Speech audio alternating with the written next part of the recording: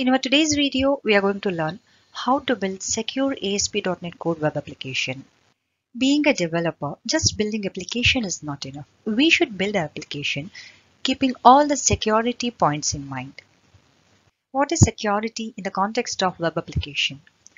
Security is nothing but safeguarding the application and its resources from unauthorized access. There are few common security attacks like cross-site scripting, cross-site request forgery, SQL injection, and open redirect attack. In cross-site scripting, attackers place client-side scripts into web pages. In cross-site request forgery, unauthorized commands are issued from a user's browser that application trusts. In SQL injection, attackers inject malicious SQL queries to steal data. In open redirect attack, user logs into trusted site. From there, he gets redirected to malicious site. There are few best practices to build secure application. Like we have to implement client-side and server-side validation. Data should be encrypted. We should have proper authentication, authorization, and session management. We should make use of SSL and HSTS.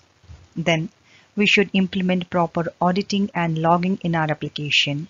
Even custom error handling is important part of building secure application. ASP.NET Core Framework provides so many different features that help us to build secure application.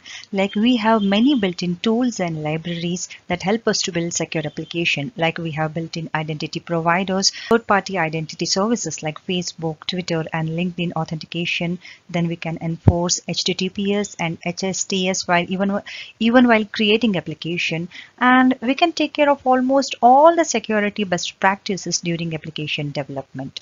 Security is a vast and very important topic. Just knowing the popular attacks and knowing the best practices is not enough to build secure application. We should have good understanding of different features, different attacks. We should know how to implement all the best practices.